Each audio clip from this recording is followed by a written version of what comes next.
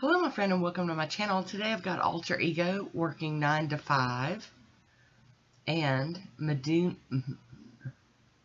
Mundo de Unas AZ Animals 14 Dragonfly Tongue Twister and She Modern Pearl Purple Stamping Polish Sticky.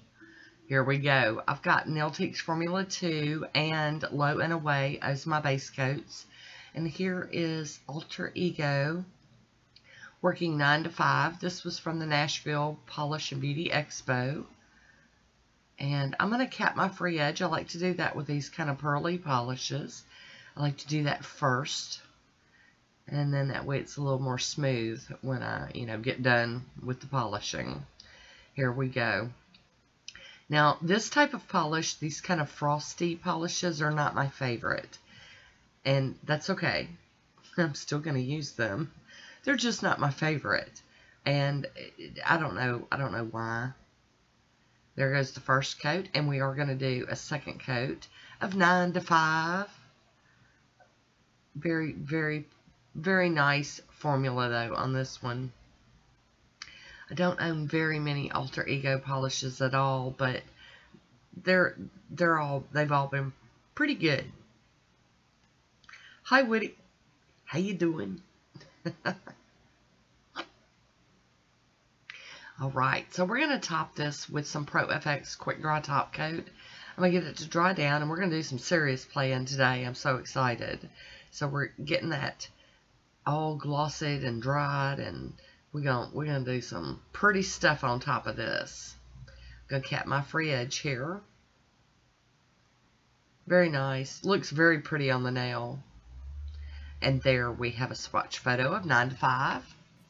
And here is Mundo de Unas, AZ Animals 14 Dragonfly. I love this plate. I have a lot of plates that have one or two dragonflies on it, but that's beautiful.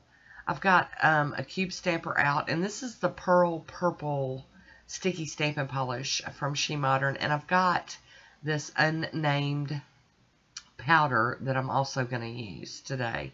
I don't even know where it came from. Can't tell you cleaning that plate with some pure acetone before we get started.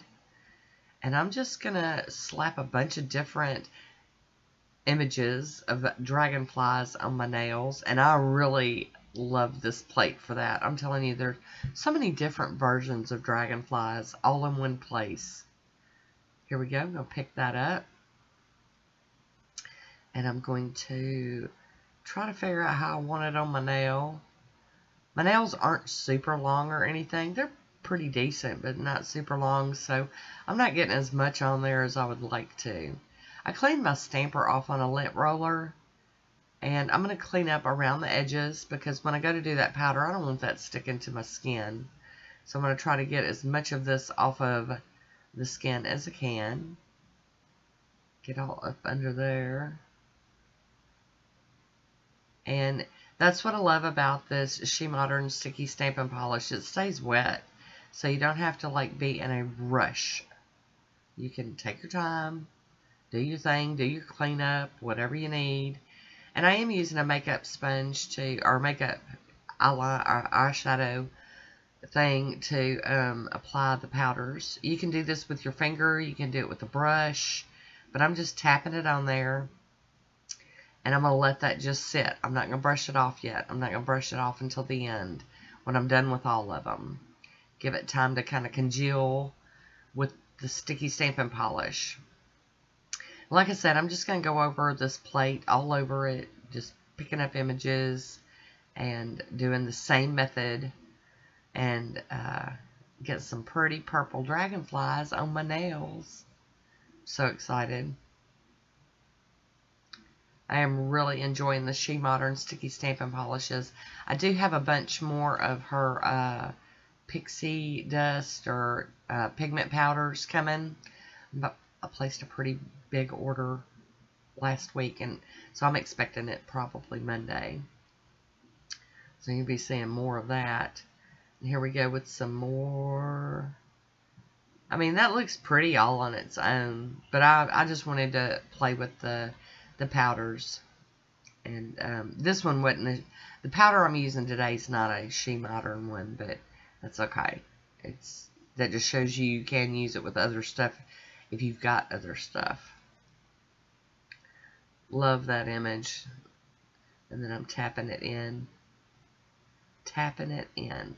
I'm not smearing it around because like I said, that polish is still wet.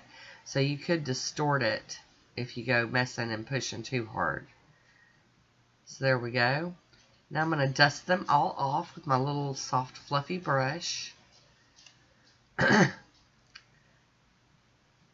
very, very nice. Very delicate looking. Fancy. So I'm going to clean this plate off with pure acetone. And this is another extremely well etched plate. It's just chewing up that cotton ball. I'm telling you, it's fuzzies everywhere. But you got to get that plate cleaned. And then I'm taking another, that one, you can see that's purple all over that. So I'm taking a clean cotton ball and going over it because I want to get up all the color and everything off of this plate. And then I'm trying with a brush, excuse me, to get up some of the fuzzies. It's not really working that good.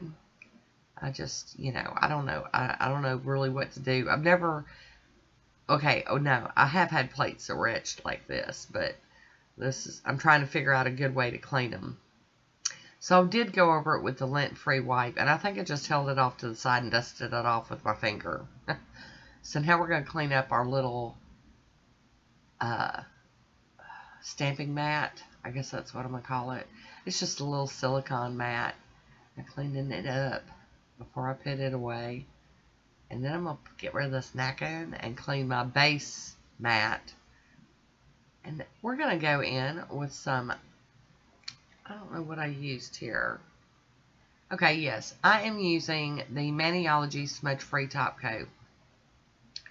Just to kind of seal these in. And we're going to let them dry down completely. I'm cleaning off my, that brush before I put it back in the bottle. I don't want to contaminate it. And then I topped it with some Seche Vite. So here is my swatch photo. I hope you enjoyed it. Thanks for watching. Until next time, be good to yourself.